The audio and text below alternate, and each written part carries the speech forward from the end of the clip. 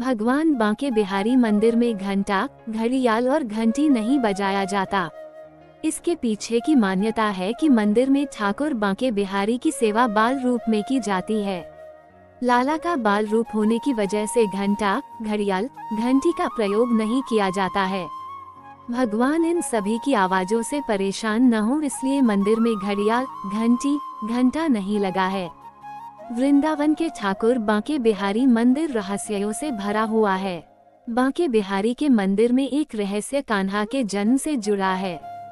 भगवान बांके बिहारी मंदिर में घंटे, घंटी घड़ियाल न लगाए जाने के बारे में ठाकुर बांके बिहारी मंदिर के सेवायत पुजारी शालू गोस्वामी ने बताया कि मंदिर में ठाकुर बाल रूप में विराजमान हैं।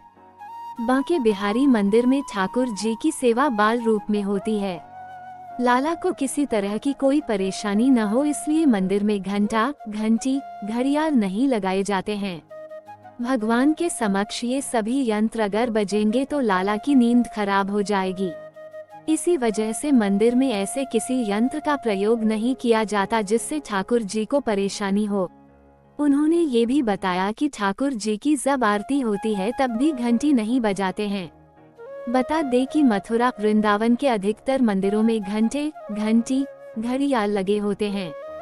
वृंदावन में एकमात्र ठाकुर बांके बिहारी मंदिर ऐसा है, जहाँ मंदिर में इन सभी चीज़ों का प्रयोग नहीं किया जाता है।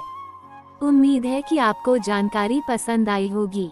वीडियो अच्छी लगी तो वीडियो को लाइक करें और चैनल पर पहली बार आते हैं तो सब्सक्राइब करना ना भूले। धन्यवाद।